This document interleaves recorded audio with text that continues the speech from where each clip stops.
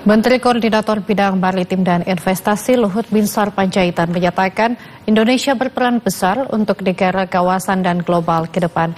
Menko Marves menekankan Indonesia harus dapat mengelola segala potensi yang ada.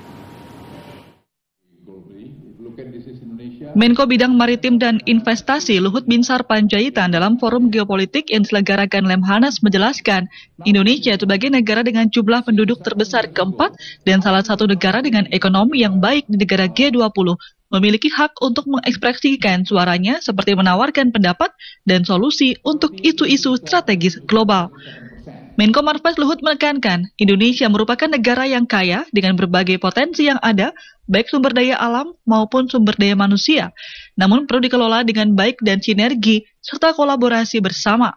Melalui berbagai potensi yang ada, Indonesia ke depan akan memiliki peran penting baik bagi negara kawasan maupun di global.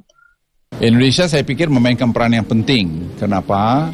Karena kita juga negara yang makmur akan memasuki era itu. Tentu belum sempurna, Ya, tapi sekarang itu kita sudah ketemu sebenarnya apa namanya patternnya untuk menjadi negara high income country by 2030. Itu saya kira bisa kita lakukan karena juga tadi dari segi demographic bonus, dari kain alam, downstreaming industry, uh, digitalisasi, terus tadi kemudian dana desa, itu ingredient daripada membuat Indonesia lebih hebat.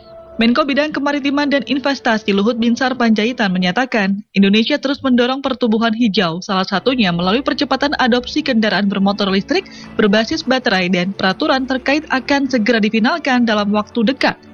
Dengan adanya downstream industry membuat perekonomian Indonesia lebih berimbang antara kawasan Indonesia Barat dan Indonesia Timur.